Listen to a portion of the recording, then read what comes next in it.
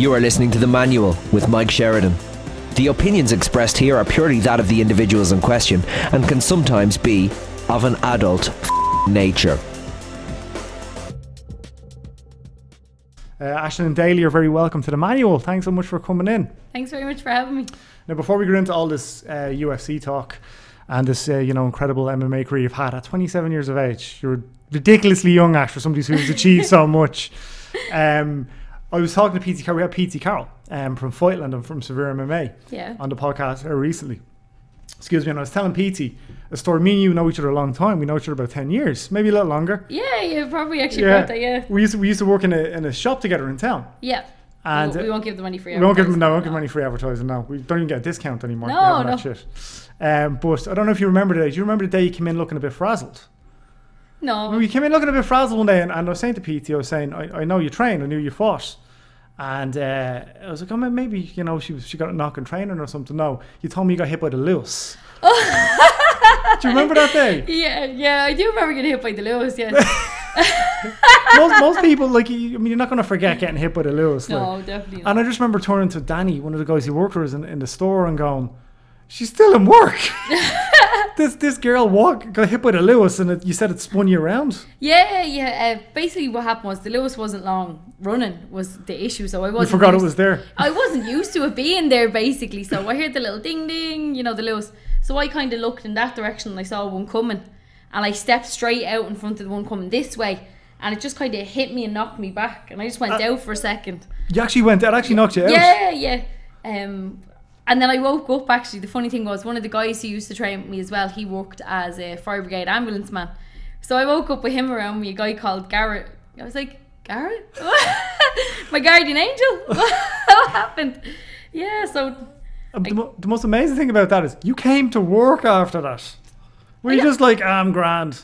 I, I, I, I guess so. Like you're only young, you know. You don't. Yeah. You'd be like, ah, sure, I'll be grand. Just dust myself off, and we'll away we'll go. Like, I was, like, I was like, Ash, Ash is looking a bit frazzled. You, you know, like not a bother, and you have to a smack of the Luas. um, but I worse suppose, things happen since probably. you've been in a few wars since, all right. yeah, yeah, definitely, yeah. But uh, it's, just, it, it's been an incredible, I think, uh, probably two and a half years, I'd say, last maybe three years. Uh, for everybody, I think, in, in Irish MMA, but probably more specifically SBG and, and John Kavanagh and all of you guys, you've just, you've all really blown up. I think uh, having put a decade or so or, or even more into hard work behind the scenes and, and training and everything else. Um, how strange have the past two and a half years been? Uh, to be honest, it's just been crazy. You know what I mean? Especially just coming from where we were. You know, smelly little damp, dingy sheds. Because you were there from the start, pretty much. Yeah, yeah, yeah, definitely. Yeah, just uh, me and a couple of other lads poking the head off each other and hoping that something was going to come out of it. You know what I mean? We were obviously all competitive, but we had no idea where we were going to end up with it. And then the success over the last few years. You know, when I started, there wasn't the UFC women's division. Dana was still on his high horse saying, "There'll never be a women's division while I'm alive." You know, this kind of craziness. So then, just to be actually sitting here a couple of weeks out from a, a UFC fight night in Dublin that hopefully I'll be on is Yeah. just insane to me. Like people say, "Oh, it must have been a dream." I was like, "Yeah, it was a dream, and it wasn't." It's hard to chase a dream that doesn't exist. See, that's kind of nuts because I was uh, talking to, to John Kavanagh, your, your, your head coach, recently, and John kind of kind of really hammered it home by saying Aisling Daly was doing this when when you could really barely, you know, even aspirationally make a living from it. Because you said there was no women's division in the UFC, and when there was, it was bantamweight, it was a 135 pound division. So, and you obviously fought at 125 for a while, and, you, and you've since moved down to 115. So, what kind of mindset do you have, Ashton? You have a get hit with a Luas, still go to my part time job mindset. Like, it- have you always had that? Uh, yeah, I've always been very determined and very competitive. Uh, a lot of people do MMA for different reasons, but for me, MMA is the ultimate form of competition for me. It's physical and mental, so I get to really push myself. And the obvious thing being that I can't fight myself, so the closest thing I can get to fighting myself is is fighting somebody who's deemed to be excellent in the sport. So if I were to be somebody who's the best in the world, then obviously by virtue I'm the best in the world. That's the way I look at it. If somebody's number 10 in the world, I beat them. I'm obviously as good as the number 10 in the world because my ideal dream would be make a carbon copy of me and go and scrap her, but that, that It's just, it's, e- it's just even ground then. yeah, yeah, exactly. Yeah, the world is just. two objects can't occupy the same space at the same time. That's in, the- yeah. it's in the Back It's a the form Future. of black hole or something. but um, you you fought everywhere. You know, you fought all over the world before the UFC, um, and then obviously uh, you moved into the house. Uh, you did th- that season of the Ultimate Fighter, and you. I, I, I said to you just off camera there, you came across so well in the house. Because even talking to Cathal Pendred and Chris Fields a little bit about the stuff that they went through, they were there. It was the season before you. yeah, just the season. just the before, season yeah. before. That must be an incredibly high pressure, but more than anything else, a strange just situation to be in. Yeah, definitely. I I think generally when there's a group of guys together, there can be kind of like ego and stuff, and there's a lot of testosterone. But the good thing is they get to work that out on the mat. You know, there'll be guys who maybe are acting a bit of a dick in the house, and then they go and they spar, and then they punch the head off each other, and that's resolved. Whereas, especially the group of girls that I would, there was a lot of damage to individuals, like really proper need to be psychologically assessed type individuals, and then the, all that estrogen, all that kind of bitchiness, that cattiness, uh, which wasn't getting worked out on the map because for some of those girls, they were so horrible that it wasn't enough to just win a spar or it wasn't enough to tap somebody. It was almost like they wanted to psychologically destroy them. So you were living in this. It felt like a psychological war zone. There was all sorts of crazy stuff happening between stuff being stolen, you know, people tampering with your food, all this kind of bitchiness. Oh, I'm not training with her. I might fight her in the second half of the bracket. It was absolutely just a nightmare.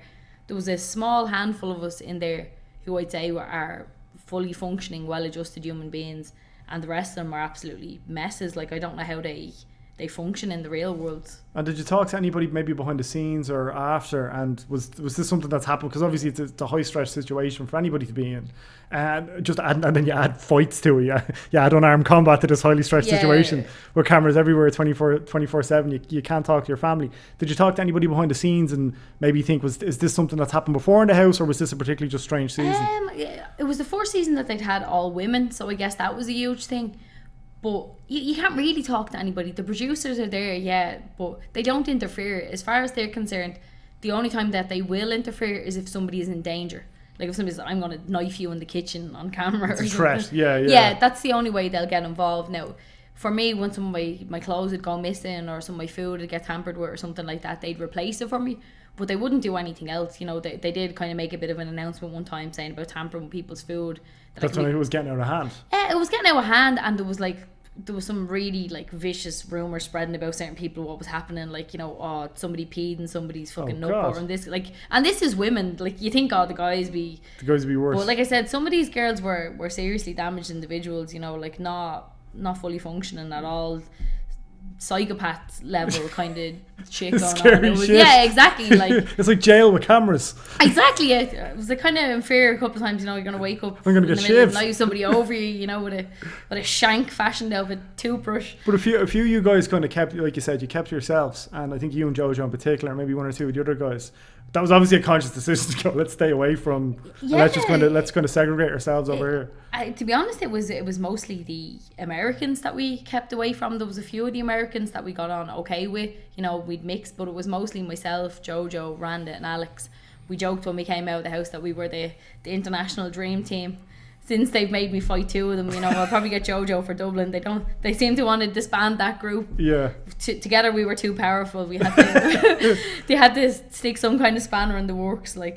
But uh, yeah, we got on very well, and I think, like I said, the only way I can describe it is just being normal, just being Yeah. well adjusted, just knowing how to interact with other people, and not having any kind of bad spark in us where we get a kick out of putting other people down and Yeah. making other people's life miserable. Like some of the girls genuinely seemed to be just enjoying watching other people fall apart because of stuff they had done to them. It was it was insane. yeah, like, that sounds pretty pretty horrific stuff. it, it was like if it, it's so hard to even imagine being back there now, but for definitely a few weeks after coming out, I was like PTSD. I was like, I don't even want to talk about the Yeah, house. do you still get flashbacks and stuff. Sometimes when people bring stuff up, I'm like, oh god, how did I even survive that? And then people say, oh, would you go back? I was like, not for all the money in the world. And was, I and was there a there." part of you as well that was like, I can't fucking believe I have to do this. First Irish world champion in MMA, you're de- like decorated MMA fighter as well as a pioneer beforehand.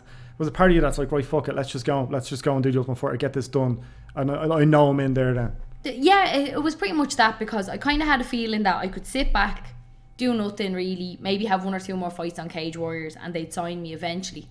But then I was afraid I'd miss the boat on it because then I'm getting only signed into a really established division, and you know they have title contenders established, and then it could be another year or two before I- I'm even looking at title contention.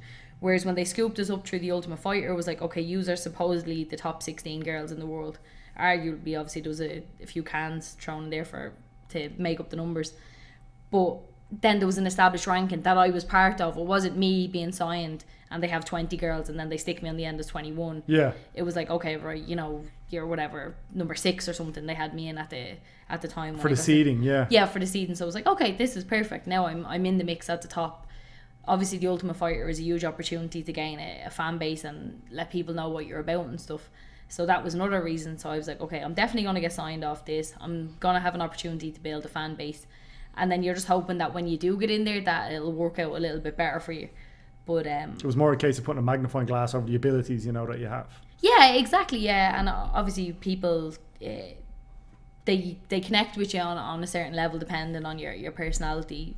Whereas I'm always kind of quiet enough, quiet enough when it comes to certain things. I guess I'm not the noise I'm making isn't upsetting other people. I'm not like Yeah. oh my god, I'm gonna call that bitch out and she's this and she's that. Um, I don't operate like that, so people don't really want to hear that. They'd rather hear somebody talk shit and be negative about somebody, which is fine. So were people playing up to the cameras? yeah, some people were playing up to the cameras, definitely, and some people just genuinely are that mental. That's Yeah. that's the only way I can describe it. Broken like, biscuits. Yeah, like somebody like Angela Magaña, like uh, um, she she's in need of mental health. Like I don't know if anybody saw her Twitter and stuff even after she came out. You know, like ass selfies, all this kind of crazy It's, stuff. it's, it's in a case probably thinking she might get some media attention or whatever. Yeah, and she has a 13 year old daughter. You know what I mean? You have to kind of think of what you're putting out there and what kind of influence that's going to make on your child and the, the world over. You know, you want to be a good role model for young girls coming up. But this is the thing now as well, because obviously, the, you know, you've got Ronda Rousey there who's crossed over in, insanely now into movies and everything else, and so women's MMA, people are really looking at women in MMA now in particular, and kind of these are the athletes. This is something that you can aspire to. I'm sure SBG's phones are ringing off the hook, you know, after you fight, and then again Ronda Rousey blows up a, couple of weeks ago. Are you noticing like? Just more and more women just kind of flowing into the gym. I want that six pack. How do I get that six pack? Well, you have to be in a cage and train for. We're definitely getting more and more women. Like uh, I actually just recently, it was just uh, the past weekend, held an open mat, and we had 26 ladies on the mat for an open jiu-jitsu mat. Like that's the first time ever in my whole jiu-jitsu career I've seen so many women on the mat in one space in this country. Like it's it's insane. It really has taken off, and like I said, the likes of myself, Ronda Rousey, whoever. Like, I, I once girls are interested in the sport, I don't care how they've gotten interested. I don't care if they saw Conor and they think they're going to see him in the gym next week.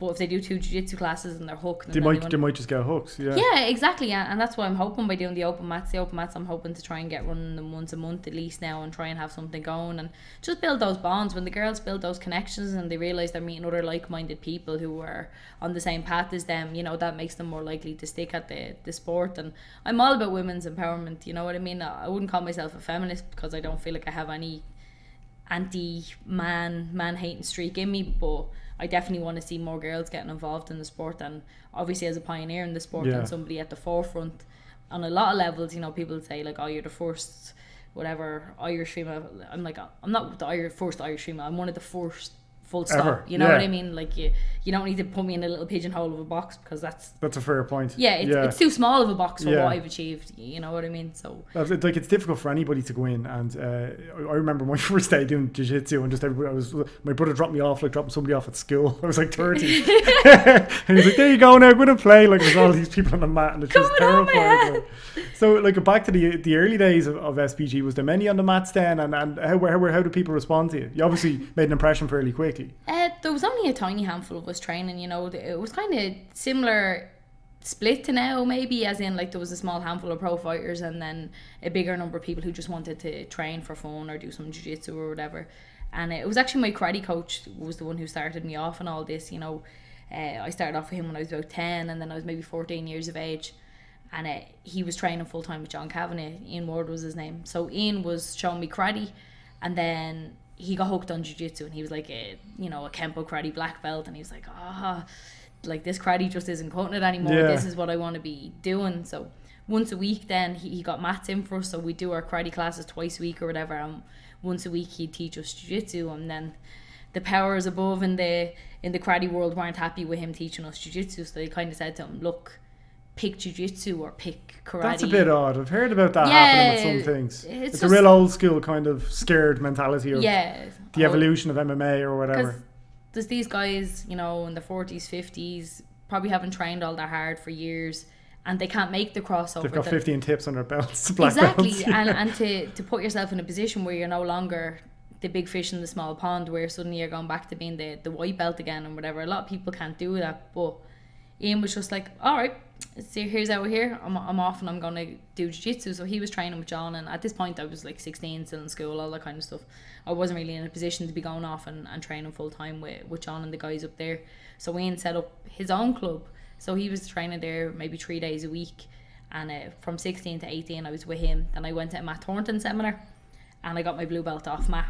This is the founder of SBG. Matt yeah Thornton, this yeah. is this is John Kavanagh's coach so basically got my blue belt and Ian just said to me look you're a blue belt I'm a blue belt if this is what you want to do then you're gonna have to go up and train with John and uh, like you said first day of school like I felt like I was starting again I already have a blue belt and I'm rocking up and I'm terrified and, and to be honest at the start like everybody kind of was like who's your one there but I'm like I have a blue belt I'm good. uh, yeah, I'm not too bad. I got it off Matt. He's your coach's coach. so it did take me a little while before like they kind of warmed up to me and stuff. You know, like most things, like people have their own little cliques going on, and, and you you turn up and you're not really part of any clique. And Ian was always just so helpful. Like he was training there, obviously, and he always made sure to partner up with me or made sure that I was partnered with somebody who uh, who was a suitable partner, not somebody who was going to just try and rip my head off or whatever. So honestly, without Ian at the start, uh, I definitely wouldn't have even got into the sport. yeah. And then after Ian, then he was obviously still training there. But when I integrated a little bit more, it was guys like Owen Roddy were the ones that really kept me there because Owen was such a great sparring partner all the time. He'd always go at such a level where he was giving me hell, but I was improving and I was able to do a little bit. And I don't even think Owen realizes how much he's done for the sport. I think Owen is just so laid back and he's just like, ah, well, sure, I was just in the right place at the right time or whatever. And anybody that you speak to, whether it be myself, Conor, you know, any of these guys, they'll all turn around and they'll have an Owen Roddy story about a day when they were having a terrible time on the mat and Owen helped them out or something Yeah. that Owen taught them that they still remember to this day. And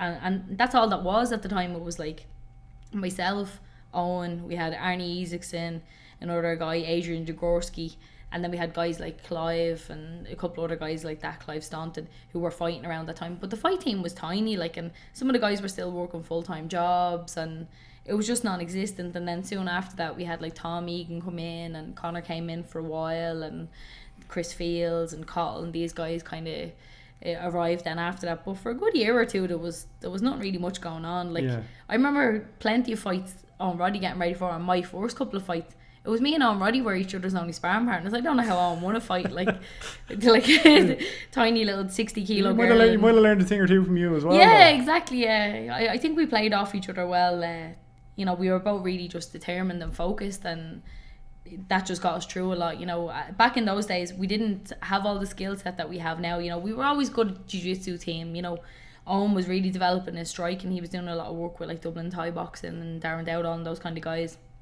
and he was improving that. Our wrestling wasn't what it, obviously is now. We're, we're kind of renowned for our French wrestling and stuff.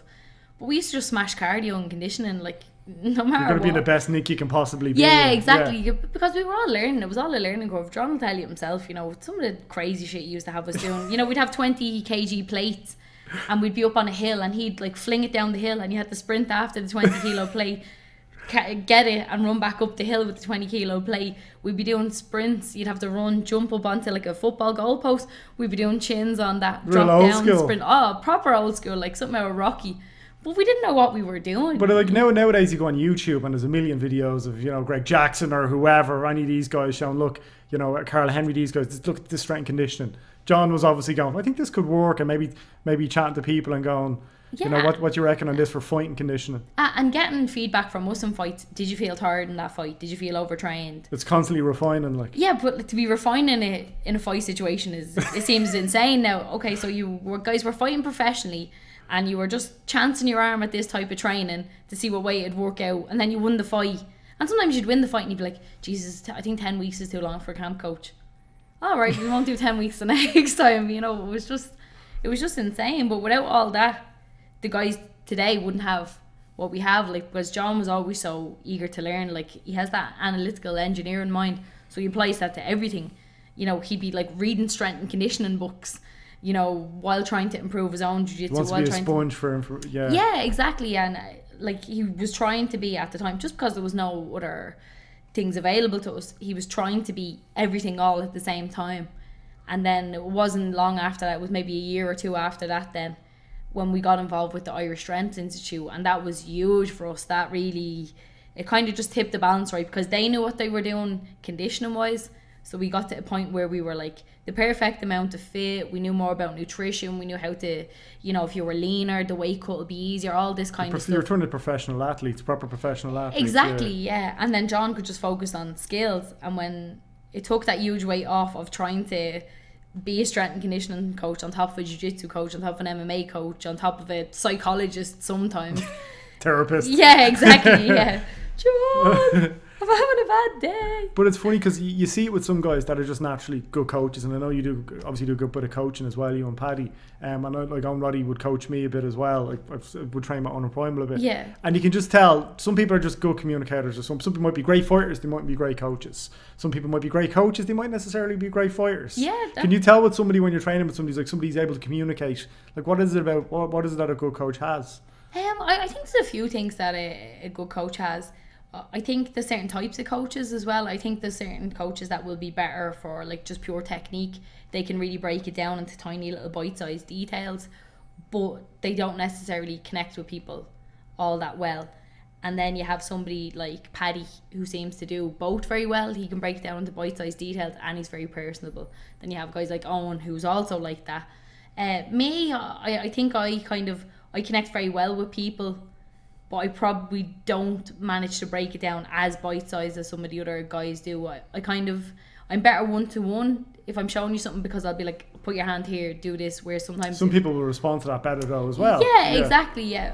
But if you want somebody warming you up for your fight and somebody who's going to be on your level, I'll always hit the, the nail on the head exactly. Like I, I'm so good at like morphing into whatever you need.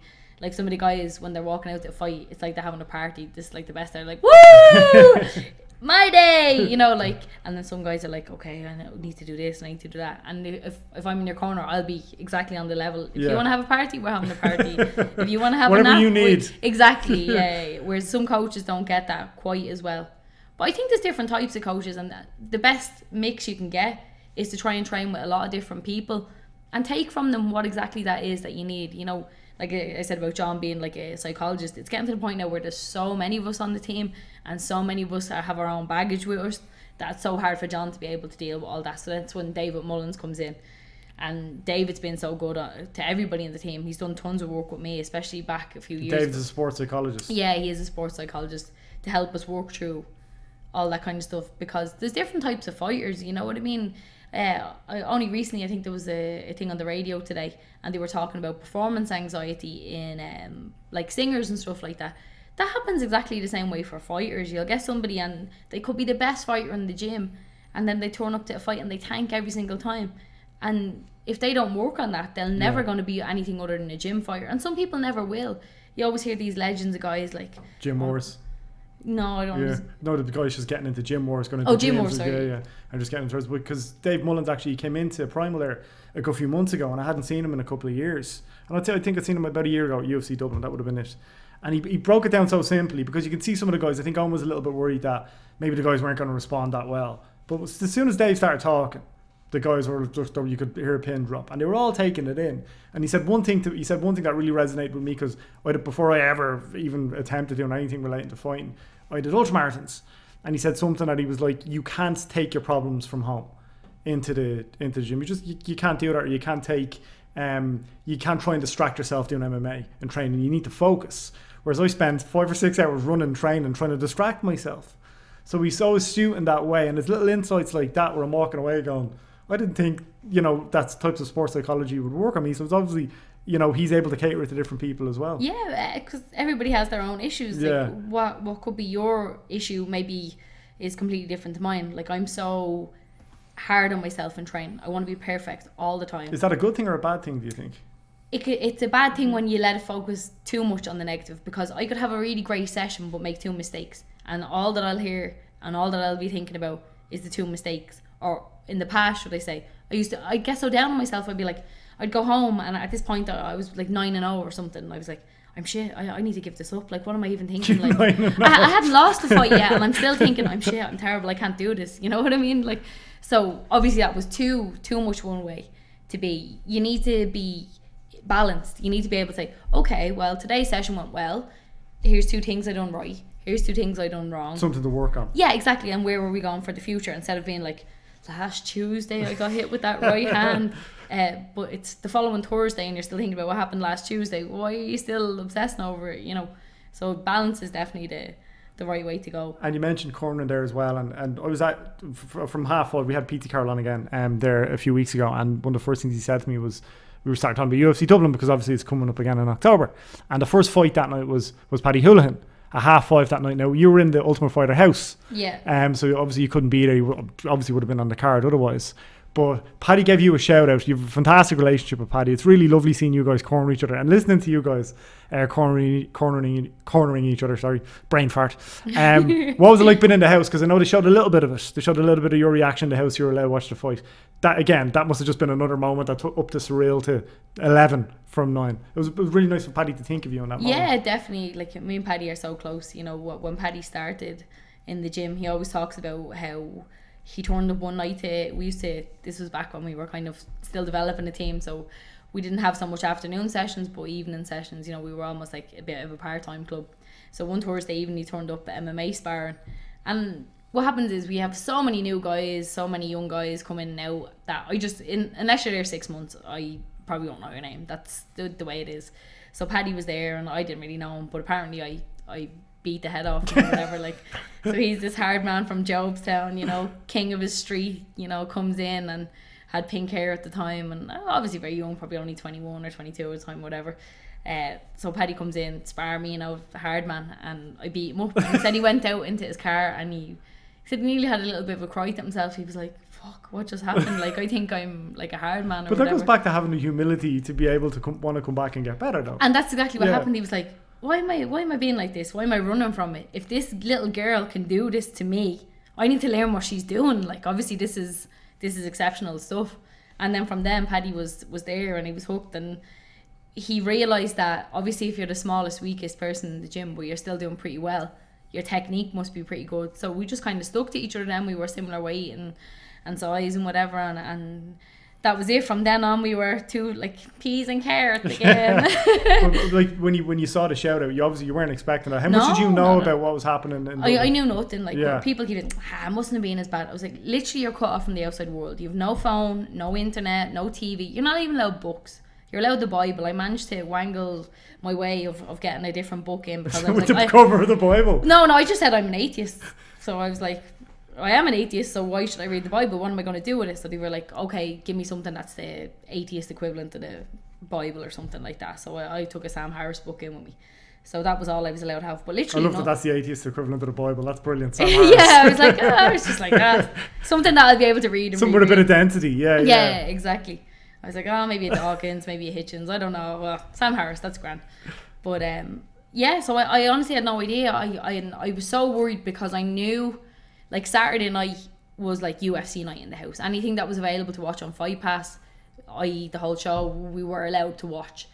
But I knew it wasn't until the Saturday, and I knew with the time difference. So I'm there on Saturday morning just trying to have a normal existence, go and do these stupid sparring sessions with these stupid people that I hate, knowing that my teammates are all in UFC Dublin because the card was announced fully before I went in. So you knew that Paddy and everybody else. Was Yeah, I knew in. everybody was on it. You know, I went into the house, I think uh, June sometime, and then this was July.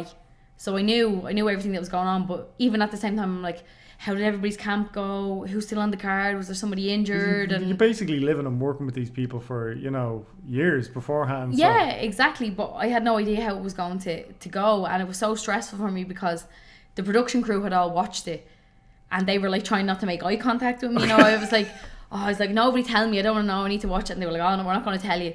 Oh, but we'll just say it was a good show. And I was like, what do you mean it was a good show? Like, oh, It was a really good show. But then it was like afterwards we had watched it and they were like, "Oh my god, that was the best UFC show in history." Like getting to meet Dana them because obviously you nearly see him every week at the fights in the house. He was like, "Man, Dublin was amazing," and I'm like, "Damn, Dublin was amazing," and I didn't get to see it. Like freaking out.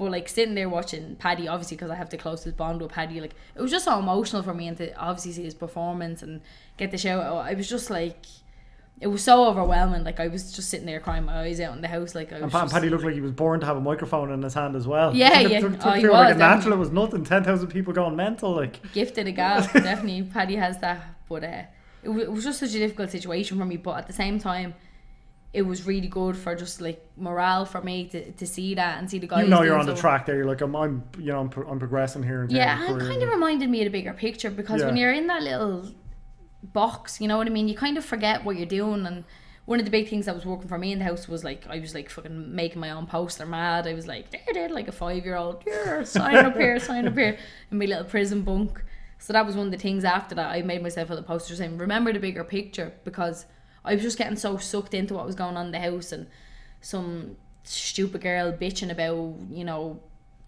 somebody eating her eggs or Yeah, something you know yeah. you're just like oh just drama, constant. yeah, drama. just constant drama. And I was getting sucked into that. And I was like, wait a minute, you're only in here so then you can go out there and do what the guys are doing. Yeah. You know, I was like, all right, phew. I was there's Gilbert Melendez there as well, and uh, uh, like obviously you had the two coaches there. Uh, How close were the coaches? Did were they in the house much, or was it just literally just a Uh? I, I definitely say that um, the Melendez guys were over a little bit. They, they seemed Yeah. quite kind of good with them. Like Gilbert is a really genuinely nice guy. He I've seemed- heard that. Yeah, he seemed to really care about his girls. Like, um, there was some of the other coaches on our team, some of the the Pettis coaches like um Dustin Ortiz and um, can't remember the other guy's name with the beard. Jesus, I only lived with him for six weeks.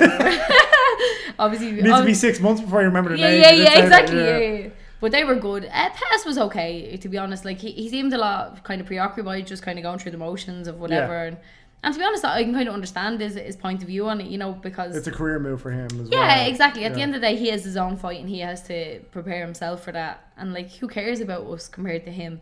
You know, especially if you're not that kind of compassionate person. Anyway, I know if somebody handed me a team, I'd be like doing way too much for them. I'd be like Yeah. trying to fix their lives. But that them. comes down to people being good coaches and not and like what you were saying about John. Sometimes John's a psychologist. He spent years doing strength yeah, conditioning. and- exactly. Yeah, I'm I'm sure John has like gone through boxes of Kleenex at stage. People's like, take a Kleenex, take a ticket and take a Kleenex. It should be because there's always a queue of people waiting to get into his office.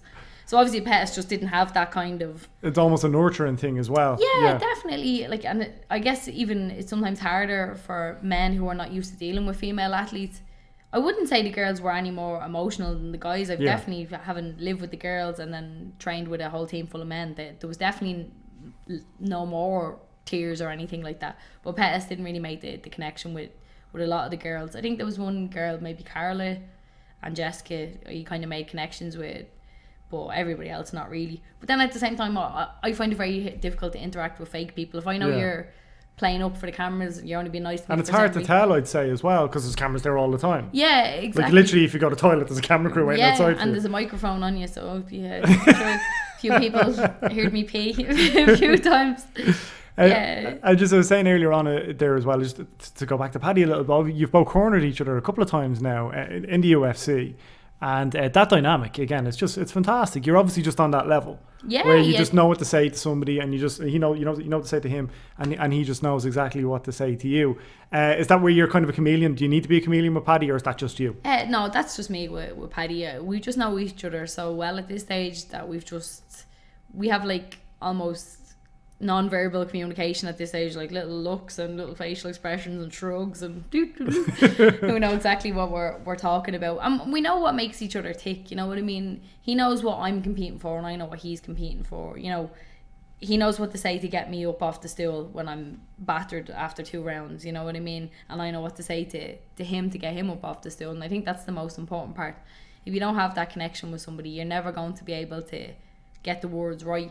And a lot of the guys that John has been training with for a long time, he'll have the exact same kind of bond. He'll know what's what's motivating them. You know, obviously Paddy has a son Tiernan, they're super close. So Paddy always wants to make him proud. So if anything, where Paddy's is slumping a little bit, like Tiernan's watching this at home, and it's like Yeah. it's like somebody just injected Fl- him. flying something. Tiernan just- over that video that went out of Yeah. uh, Tiernan getting the news was Boston, wasn't that? He's Yeah, getting flown over to. Boston. That was Boston, adorable. I got the Boston. and you see him then at the weigh-in as well. yeah, in his in his hula hand flag and everything. Like it's it's amazing. Like it's just amazing what inspires people to to be better and chase the dream and do that extra rep and do those extra rounds and miss that night out on the piss when everybody else is going out and all the kind of stuff. Sitting in mortar load instead. Yeah, exactly. Yay, gallon number three. Does, does anything does anything really change, or is it just the size that change? The size of the venues, does you know? Does anything change about you know your preparation? Like, uh, are you you do you box yourself off? Because you look at the weigh-ins, and there's the weigh-ins themselves are such high pressure looking situations, and everybody kind of has to mingle backstage as well.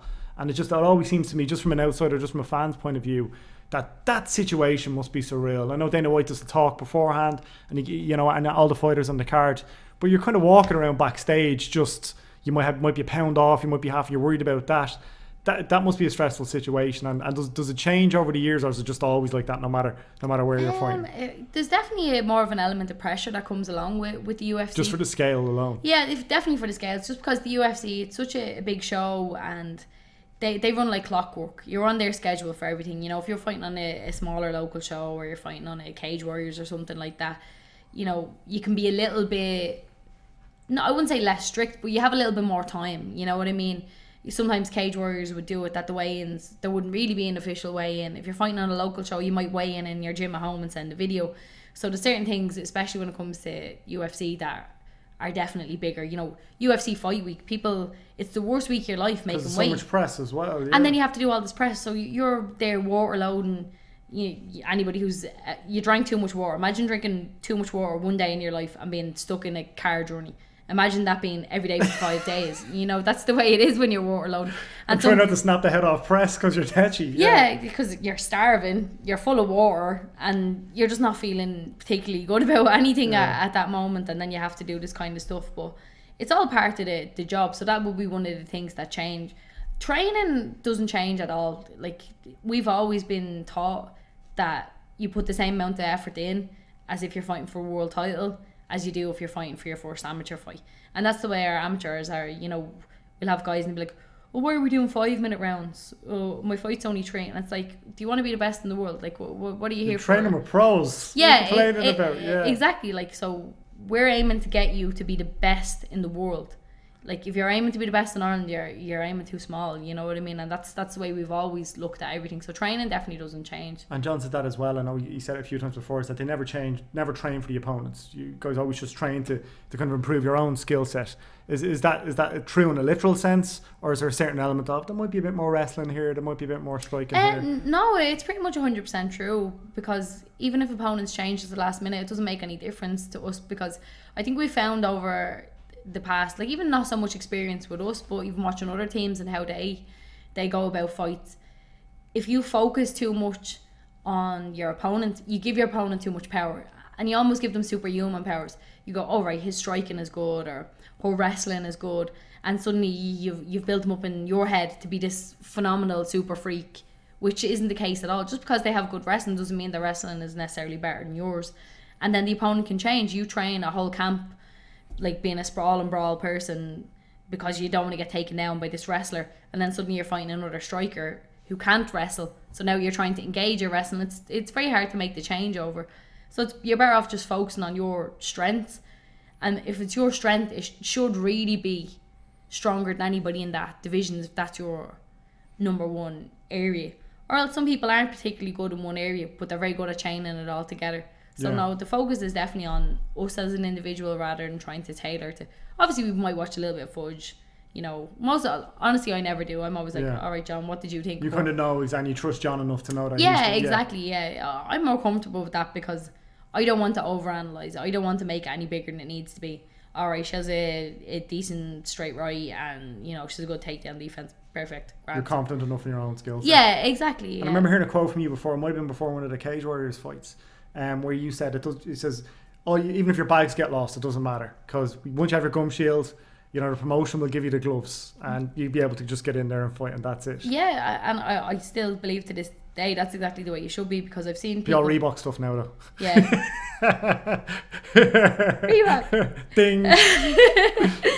But I've seen guys fall apart over silly things like you know, I didn't get Superstitions and stuff. weird things like from anything from I didn't eat me dark chocolate rice crackers today to where's me Vicks nose inhaler to I didn't wear me Lucky Jocks. To, it's just like what the hell, like you know, what's the point in relying on these things? Oh, I, I can't walk. They didn't play my entrance music.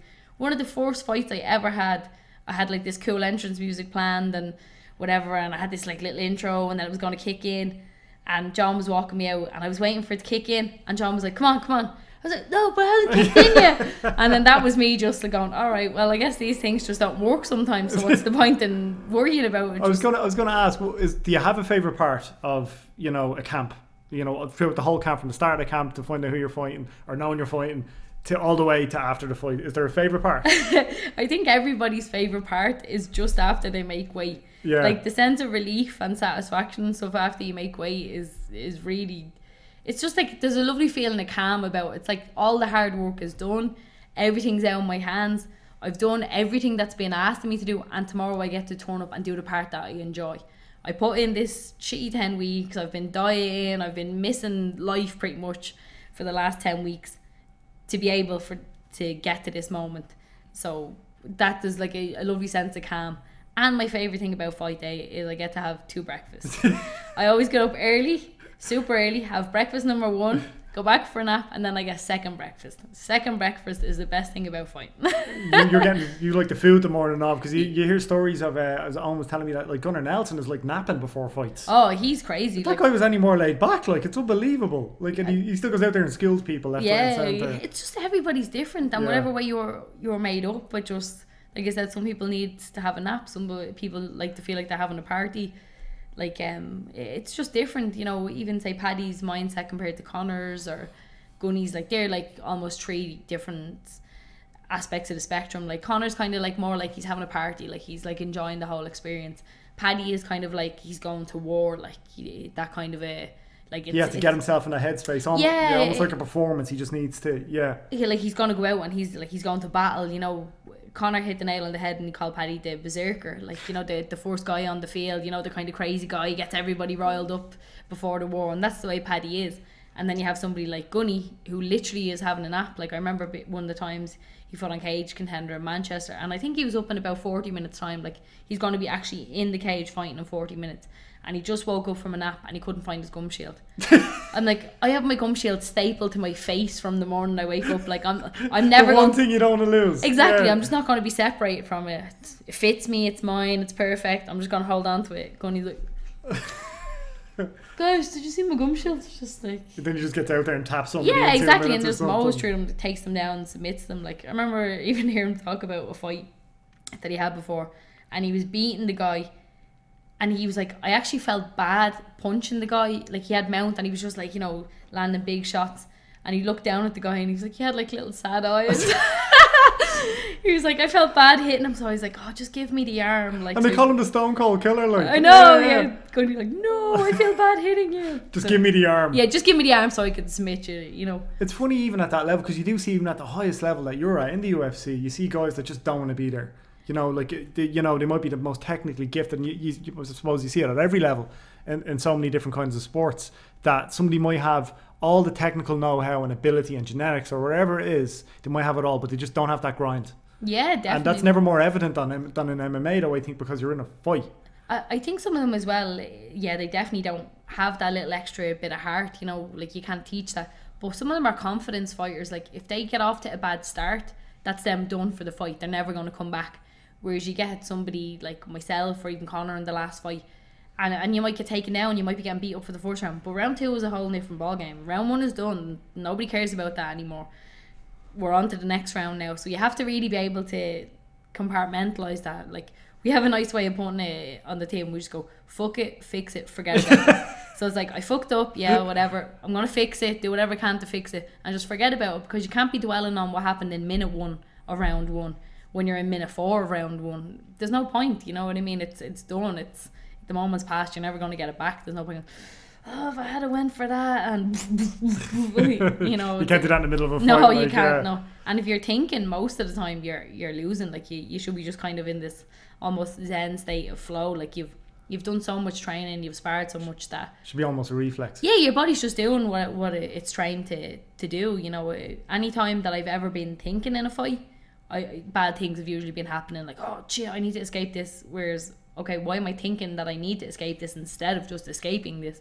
That's that's usually a better. I, I had a very small insight into into what you guys do at a, like at a very rudimental level, and it's it's and I learned I didn't learn anything more than the fight, but outside of that was just talking to Owen Roddy, and uh, I remember him saying to me before, and he's like, because I was freaking out, I had cameras and stuff following me around. Again, a very small insight to what you guys have to put up with all the time for a professional career, and I remember Owen saying to me, he was like you're going to get in a cage and you're going to fight somebody. It's difficult for people to wrap their heads around that.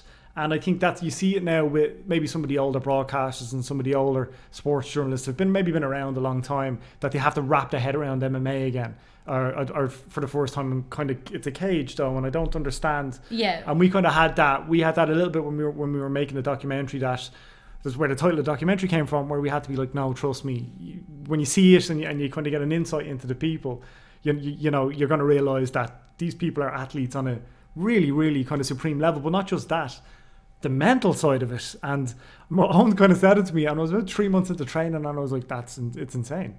Like it's actually insane. You know, you're gonna get in there and but it's amazing. There's something beautiful about it as well. I do you think that's what resonates with people and why it's resonated in Ireland so much. Um, because obviously a light's been shone over with Conor and, and all the guys in SBG. And do you think that's why it resonates so much? It's something kind of primal within Oh, people. definitely, a hundred percent. Like any kind of combat sport, but not even combat sports because you see guys watching a soccer match or GA match, and everybody's thing, yeah. everybody's delighted when the fight breaks out. It's like, ah, did you see that scrap that broke out? Like, dude, you could have just paid tickets and go watch fights all night. Like, why are you waiting for the fight to break out in the non-combat sports? but yeah, definitely, uh, I do think it just triggers something on a, a, a primal level.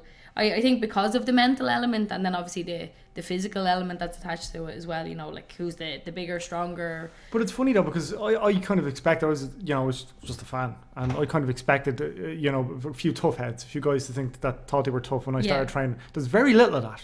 No, they, they don't stick around long. They don't, do they? It's only a couple of weeks, and it's everybody. Because again, it comes back to having that humility. Yeah, because you just get tapped Yeah. all the time, where you just you just get caught all the time, and you have to have humility to come back. if you're looking for somebody to massage your ego, MMA is not the, the place to go. You know what I mean? And no matter who you are, how good you are, because it's broken down into the three different ranges, there's always somebody somewhere who's better than you.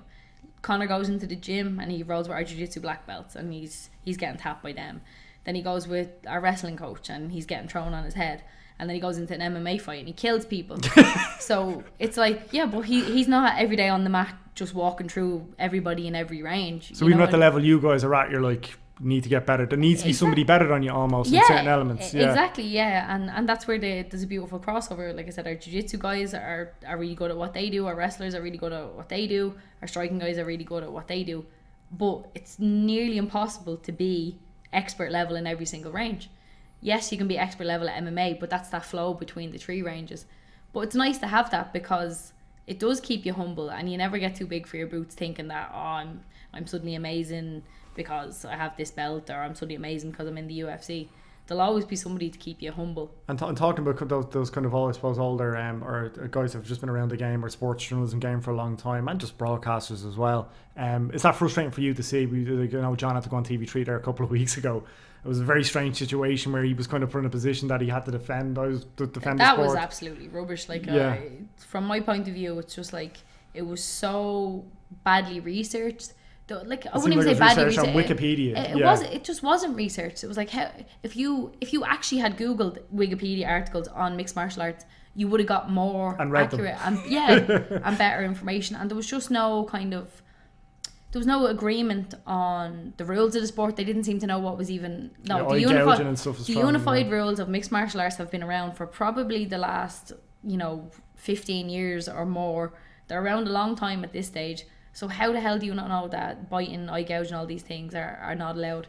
And even without talking about internationally, as a country, how far we've come in in looking after the sport. You know, things like Safe MMA ha- have come in, the Irish Amateur Mixed Martial Arts Federation. You know, we're affiliated now with the Irish Amateur Wrestling Association through the pankration element. You know, there's so much in there. That's all recognised by the Sports Council. Everybody has medical checks beforehand, even the amateur level, proper Yeah. events, checks after, without goes without saying. Yeah, There's a and- doctor on site. And, and for the pros, it's really like the medicals are, are pretty extensive. You know what I mean, uh, compared to what we had a few years ago. But if anybody bothered to even read up on this, rather than being like, ah, it's just two random guys and they just get in off the street and then they start fish hooking each other and eye gouging each other and rawr, well, let's see what Is happens. that still frustrating? Just uh, I like now, like it's like you've got the most famous guy in Ireland, an MMA fighter. Yeah, you know, it, it is very frustrating because the information is available. So how can you completely just turn a blind eye? You're basically just making up stuff. How are you allowed to just make up? I, I, I think flying unicorns uh, in a cage. Yeah, you know, like no, that's not a sport. Like you're just inventing your own view of it, and that's what they're doing with MMA. Ah, human cockfighting. Oh, one man enters, one man leaves. You know, or I thi- I whatever. think Fight like- to the death. I think it's like VHS and DVD. I think those guys eventually are just gonna are just gonna start dying out. Uh, and you were in you were in part of the panel in the convention center for that carnage Oh. down at the convention center. The, actually, the great thing was that all the drunken, crazy McGregor fans had left by the time they what started what do you think of that? Because it was interesting because I, I know a few of you guys, and that was frustrating for me to see because Uh, because I know and, I, and I, again I said the same thing to PT Carroll in a previous podcast. I was at UFC 93 and I was at the Joe Rogan gig the night before, and I saw you at the Joe Rogan gig Yeah. the night before. You were up you were up the front. That was insane as well. The, you know these type of fans have been around in any sport for a lo- for a long time, but for me, you know, it was a bit frustrating. For some- like respect, these are elite athletes on stage in a Q&A representing their country and you know they're thereabouts in their divisions as the best of the best well, you you were kind of but you were saying you were kind of happy to see the like, like, okay the kind of uh, casual ones are fucked off you were happy to see that To be honest, it, kind of struck me as almost a bit like soccer hooliganism. Yeah, like that yeah. kind of like it could be any sport yeah, it co- exactly. There's just this bunch of people who will literally turn up to the opening of an envelope if they have a chance to behave that way. Whether it would be a soccer match or a GA match or whatever, and it just happened to be Conor McGregor, UFC Dublin. This is the this is the thing at the moment that we're all gonna be jumping on the bandwagon for. But to have so little respect for Jose Aldo, you know, at the end of the day, he had the belt. You know what I mean? That, that you have to give somebody a certain amount of respect for everything that they've achieved in their career, whether you like them or not. Obviously, I don't care about Jose Aldo winning. I want Conor to win. I want Conor to have the belt. He's my teammate, but I'd never be purely disrespectful. And some of it was like, it was just vulgar. It was just, it was horrible. were you guys to win. backstage watching Uh, we were backstage Yeah. watching. We were. I wouldn't even say we were backstage. We were behind a small curtain, but we just could see it was a bit that going- cringy it was very cringy. Yeah. It was beyond cringy. It was very disappointing Yeah. because it was like it was a rep an international representation of us as a country. You know, that went all around the world live and people were just watching drunk people insult the UFC champion for no reason other than he's fighting an Irishman. And Conor was more respectful towards Jose than the people in the crowd were when he would have more reason to be Yeah. disrespectful. You know, just insulting him for being bald or just some really like there was some stuff that wasn't even shown. yeah yeah It was so bad it wasn't even shown on the on the the live because like. Dana White and Lorenzo Fertitta and Ariel Helwani and, and all the guys in Fox Sports and and uh, the UFC in general and, and fighters are all bigging up Ireland so much now. Um, after the last card, and, and we've got another card coming up, and we know put you guys on a card, and you're going to sell out Croker, you're going to sell out eighty thousand plus tickets, like so. It, you know, ultimately and, and broadly, like Irish MMA, it's in an amazing place right now, and uh, it's like it is ultimately a, a positive thing, I think, like that, that the fans are this passionate, but there's just there's always there's always a kind of a certain element that are just kind of fucking ruining it for everybody yeah, else. it, and it, it is kind of worrying because you know we're not that well established as a sport in this country. Does that happen in every country? Do you think, or do you think it's something? I- I don't think the Brazilian fans weren't particularly nice to Conor either. Uh, they weren't particularly nice, but I don't think there was anything as bad. Like Yeah. I know they, oh, you will die, whatever that that chant, but there was nobody kind of like directly insulting him or like some of the things that were said to Jose were so bad that Dana told the translator not to translate it. That they were just so vile. Yeah. Some of the things that were being shouted at him. So I don't think it was as, quite as bad for Conor. I guess there will be a certain element of that that will exist everywhere in the world, but MMA in Brazil is super well established. It's been in Brazil years at this stage. You know, the, the government endorse it. It's really it's one of the top sports in the country. The same with the US, everywhere bar New York, and that's completely unrelated to mixed Yeah, martial that's- arts, that's the a political issue, union or yeah. whatever. So in all these other countries, it's very established. We're not really established here. Like it was only kind of in the last year that we've even had any interaction with the sports council because they were like, "Who's this?" Shit, this is blown up. We need Exactly, to, but that's yeah. exactly was it. Typical Irish reaction. Fuck, what's that over there? You better get it sorted. And that's what it was like. Jesus, the, the biggest sport in the country right now, and we have no handle in it at all. We don't know what's going on, so they had to get involved. But it's we're still not super cemented with the sports council or anything like that. So There's still the- some work to be done. Like, there is there's tons of work to be done and if the fans are going to be crazy hooligans causing mayhem obviously the sports council aren't going to be happy with that like in all the affiliations with the government if they there's issues with the guards or anything like that then it could really tarnish the whole sport so it's like all right guys you behave yourselves we'll make sure we get all the safety checks in place we'll play nice to the sports council let's get this established as being one of the top sports in the country and then everybody will be happy. But right now we're kind of like on thin ice with everything Yeah. how it's how it's going. We need to show them that we are a real sport and that we are professional athletes and that we are world class professional athletes and then cement our position as a sport in Ireland, you know what I mean? because athletically, you know, in terms of people who are going to partake in the sports, uh, there's obviously going to be more people gravitating towards MMA now and, and rugby. We have a great rugby team, more so than soccer because soccer's not as much in the headlines now. Yeah. So we're, we're going to have this influx, and you've probably just seen it now in SBG and in, and in Primal and in, and in Team Rhino and all these gyms around the country. Uh, you know, and it's important for these guys that they get the, the proper development, but that you know the fans too are given the right kind of support. You Yeah. know, they're not going in there thinking it's going to be a fight, or they're not going in there to cause carnage, or they're not. You can go for a piss up on the weekend. You don't need to go to a fight Yeah, to get exactly, locked. yeah. yeah. it would be awesome as well if we could get that kind of position cemented as a sport in the country. Look at what we've achieved as a tiny country where nobody even knew about our sport and we were all just plugging away in a little shed and look what everything that we achieved. Imagine if we had some kind of government funding for our amateurs so that they could train full time. Tons of guys working full time jobs and training, trying to study. Which is insane, by the way. Like Um, full time fight training and, and working. yeah, It's- I, don't know how people do it. Yeah, it's insane. it's crazy. But these guys still managed to achieve so much success in spite of that. What we achieved was not anything to do with the government's help. It was all to do with the help of our family, our friends. Our coach was being amazing, John. He, he never took a penny off any of us, like who were fighting from. We, done well because of that. We never done well because of any government involvement. So can you imagine? We would have literally a champion in every weight class in the UFC if we had a little bit more support. And where do you think it'd be finally? Uh, we, we've probably gone over a little bit here, but uh, where do you think MMA, Irish MMA, would be right now without John Kavanagh? Without John Kavanagh having come in, I know there's obviously been there's been many people involved in Irish MMA, not just John.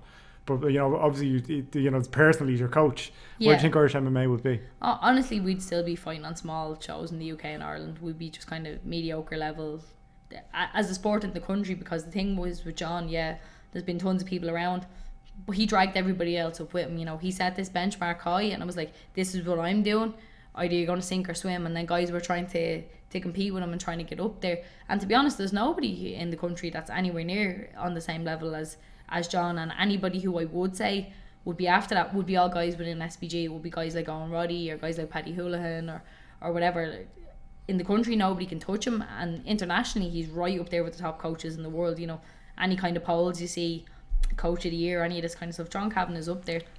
Like Uh, I said, we wouldn't uh, we wouldn't have the standard of MMA. Is, is it weird seeing like John and Forrest Griffin and like you know all these you know UFC icons that have been around for a long time and Don Frye and just seeing them hanging out? Is it a little bit surreal? Uh, yeah, definitely. Yeah. It's like, or is it like, yeah, this was an it was inevitable, but I'm Well, well, glad. some of the guys like Forrest Griffin stuff. Actually, he's like an SBG affiliate from way back, so he Yeah. wouldn't be that weird. But like Don Frye and stuff, and then you know, just seeing like John casually. Gracie's and yeah, Yeah, or even the stuff that's going on at the moment, like uh, with the amateur team going pro and all the Prince of Bahrain. Like, oh, I'm just going to hang out with the Prince of Bahrain. Abu Dhabi you know. for a few days. Yeah, it's just like what the. You never expected that to happen. No, not from that little smelly shed where there was only guys, and I used to have to crawl up into this little attic space to get changed. you had your own personal training room, though. That was Yeah, nice, yeah. kind of, sort of. yeah, yeah. Uh, well, well uh, we know we don't know if you're going to be on the Dublin card yet, but we all hope you are. So, uh, genuine, we're all behind you in here anyway. And, and Ash, thanks so much for coming in. Continued success. Thanks very much for having me.